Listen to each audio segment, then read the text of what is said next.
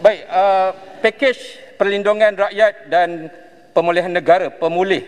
Saya dipahamkan 15 Jun dulu 150 bilion uh, ke arah pemulihan fasa 2, 3 dan 4 uh, dalam plan pemulihan negara. Saya bimbang wang sebanyak itu akan berlaku ketirisan, cukai tak rasmi, markup dan make up tambahan tanpa fokus kepada objektif asal. Apakah kursus-kursus modul kemudahan, berapa ramai yang telah mengikutinya serta berapa sasaran yang telah dirancang untuk itu supaya berlaku kerjasama antara kementerian ini dan Kementerian Keuangan. Terima kasih. Terima kasih. Silakan Yang Berhormat Menteri. Terima kasih. Saya bersetuju seperti yang berhormat kata. Dalam segi pelaksanaan ni kita tengok ada dua. Satu dasar. Dasar ni dah betul lah. Kita dah bagi peruntukan berbilion-bilion macam yang berhormat cakap.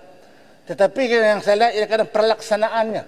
Yang kadang-kadang birokrasi dia masih ada kadang-kadang reaktipnya kuat dan sebagainya mengikut keadaan seperti biasa. Sedangkan kita dalam keadaan yang kita sedang keadaan yang luar biasa. Sebab itu saya di Medan kita beberapa langkah sebagai contoh. Salah satu halangan kadang-kadang yang menyebabkan lambat proses ini nak tengok si Kris, nak tengok si Tos. Jadi saya dah begitu bahawa di bawah Kementerian Medan kita ketepikan. Si Kris ketepikan, si Tos ketepikan. Tolong dengan segera dan juga proses untuk meluluskan ini mestilah mengikut apa yang telah ditetapkan oleh agensi-agensi. Kerana itu kementerian saya menubuhkan jawatan kuasa pemantau untuk memastikan apa yang dijanjikan oleh agensi ini mesti dilaksanakan. Jika ada di antara di agensi ini tidak melaksanakan dengan janji yang telah diberikan, maka mereka yang memohon pinjaman boleh membuat aduan kepada pihak medek.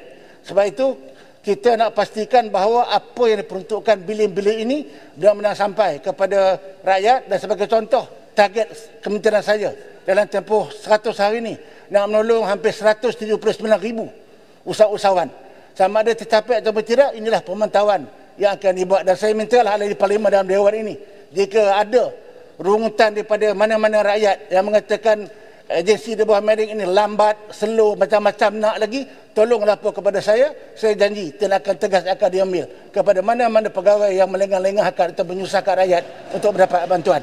Terima kasih.